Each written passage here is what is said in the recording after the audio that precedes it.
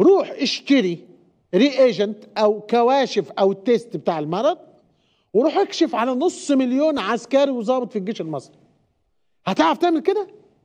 أنت نشرت الرعب في الجيش المصري.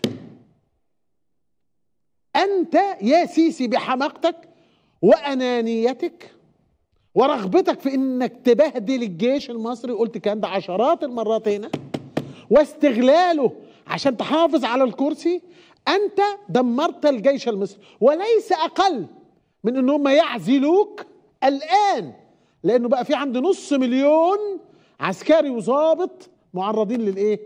للموت بسبب إيه؟ فيروس. فأنا كنت خايف من السجون إن يحصل فيها إيه؟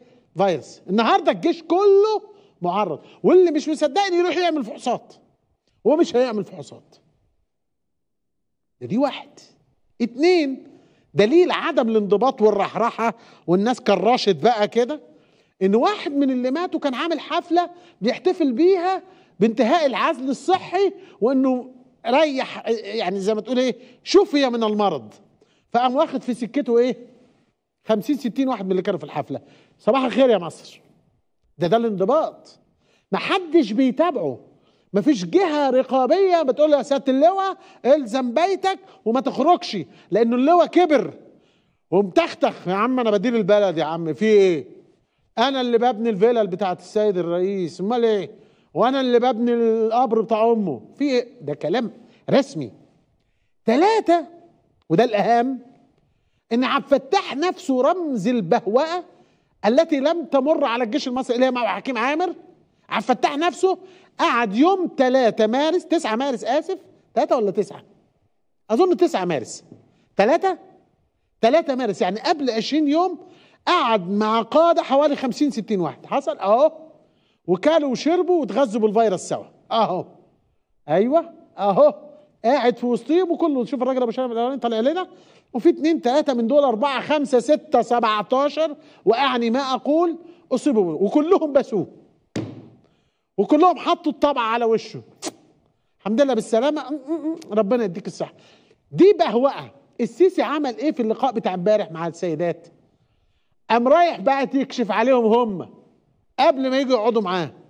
بثلاث أربع أيام. تكشف عليهم هم. ده المفروض نكشف عليك أنت. لأن أنت سبب المرض في البلد. هو كشف عليهم. وقعد معاهم. شوف هنا قاعد مع أخواته إزاي حلوين؟ كل واحد لازم في كتف اخوه بص بص بص بص. سلم يا باشا سلم يا باشا سلم يا باشا سلم. الله اديله بوسة بقى ولا حاجة. مفيش ولا لقطة فيها بوسة. يعني أنا اللي أنا يعني المخرج بيعاقبني. مش عارف ليه بس يعني طلع لنا أي بوسة. مش مهم. سلم. تمام تمام. السيسي عمل الحكاية دي وجه يقعد امبارح قام قاعد بينه وبين آه عبعال جابه عشان يعديه وجدع رئيس الوزراء اسمه إيه؟ مدبولي. خلى بينه وبينهم مترين ونص. اهي الصورة اهي. اهي. شايف؟ مترين ونص من كل واحد. على رأي صديقنا وزميلنا الإعلامي مسعد البربري الراجل بعت لي امبارح في الحملة بتاعت اهي أيوه دي الحملة اهي. خرجوا المساجين. بيقول المسافة دي يقعد فيها 10 مساجين. بما فيهم أخويا علاء ربنا يفك أسره. يعني المسافة دي يقعد فيها 10 قاعد فيها مين المعلم لوحده لما تجيب الصورة سعادة المخرج الكبيرة بقى هتلاقيه قاعد وكل واحدة بعيد كده عنه. وفي اتنين تلاتة ورا في الفيديو حاطين كمامات. أيوه شوف صورة من فوق أهي. دي حطها على الشاشة الكبيرة بعد إذن حضرتك بقى. هي دي زي ما تكون معمولة بالقمر الصناعي ولا الشاشة دي فيها حاجة؟ آه.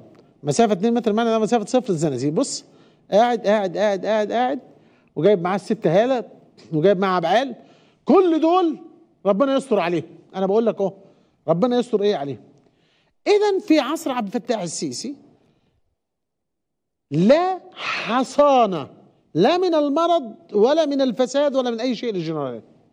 وأقولها بملء الفم لقد نشر عبد الفتاح السيسي الفيروس في داخل الجيش المصري. واللهم سلم اللهم سلم. إيه اللي حصل بقى؟ لما حصل إن المجموعة دي جالها الفيروس السيسي كان عارف لأنه جاله الفيروس. وقعد في البيت. وما رضيش يطلع يكلمنا.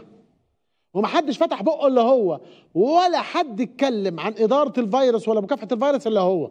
أول مرة قعد في قعده محدش سمعه فيها وطلع قرارات طلع صور فيك. وتاني مرة هو اللي اتكلم الوحيد. ما أريكم إلا ما أرى. أنا طبيب الفلاسفة. ثلاثة وده المهم. إن عبد الفتاح السيسي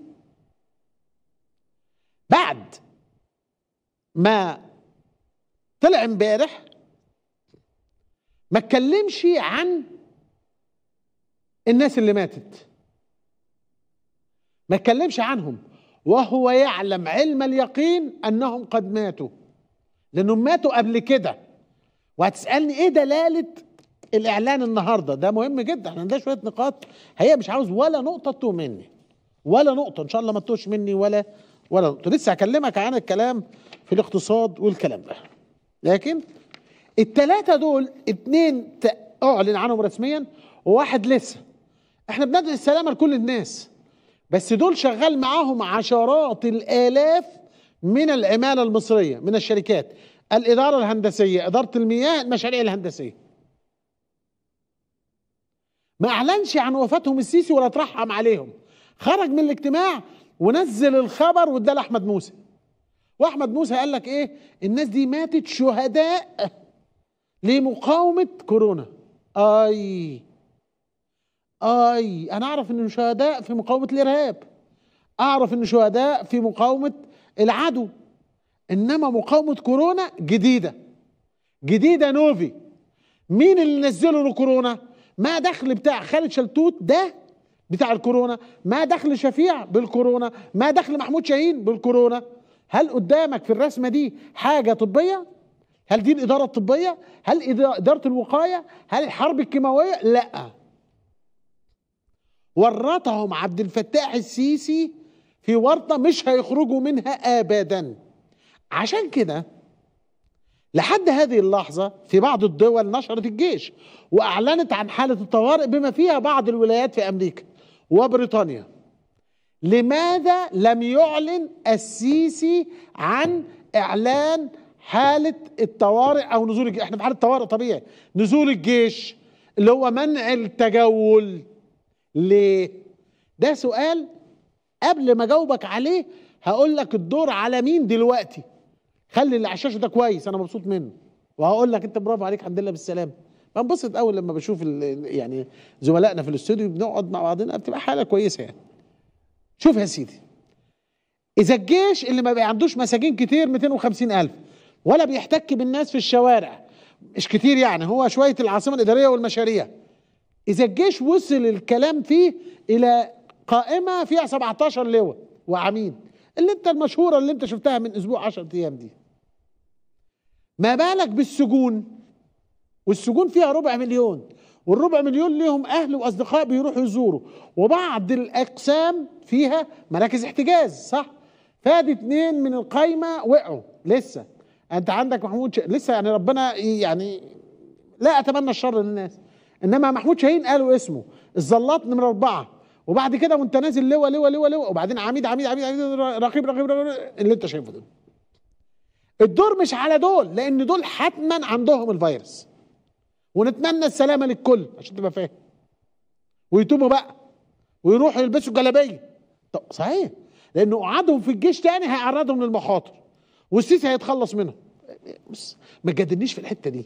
لا يوجد دكتاتور رحيم. أنا كنت بشوف الأفلام الوثائقية بتاع كل الدكتا المستبدين في العالم. هتلر وموسوليني كل كل العالم دي. بص يا ابني ما فيش حد مستبد بيقول له إيه والنبي تحافظ لي على الراجل ده. ما فيش حد بيحافظ على حد ولا ابنه. هو أنا. وبعدين يجي يقول له في الآخر إيه مش هتموت عشاني بقى ولا إيه؟ يقول له صاحبه صديقه. أنت مش هتموت عشانه ولا إيه؟ الفيلم لازم يخلص كده. الفيلم لازم فيا انت تخلص عليه هو خلص عليك. هو شاطر. لا مؤاخذة عملكم زي المعيز أنا آسف التعبير ما تزعلش مني. بس هو عملكم كده. حطوكم كلكم وهيضحكوا زي الخرفان. اوعى تكون فاكر إن أنا بقول لك إن أنا هجيب سكينة وتضحك. لا هو سابك في المعمعة. السؤال الثاني بقى هو إيه؟ كنا كنا بنقول سؤال فاكر يا أستاذ؟ قبل ده بعد ده لا قدر الله الدور على مين؟ قلنا لماذا إيه؟ لماذا لم ينشر أو يفرض حالة منع التجوال؟ ليه؟ شاطر. قول. لا ما أنا مش عاوز كل واحد يعمل لي كده أنا لازم يكون في إجابات. لحد ما نحول ده استوديو بعدين بعد الأزمة بتاعت كورونا ما تمشي بص يا سيدي الحكاية دي مهمة. في الغالب والله أعلم وأغلب ظني يعني إن بعد الظن اسم صح؟ بعض. فيبقى أغلبه إيه؟ صح. عشان بس وأغلب الظن عندي أنا حمزة زوبة العبد الله الفقير أنه طلب منهم النزول. ورفضوا لأن هم عندهم فيروس والشارع عنده فيروس. وإذا كان الفيروس جاب اللواء واللواء واللواء واللواء واللواء يبقى هيوصل لمين؟ للناس كلها.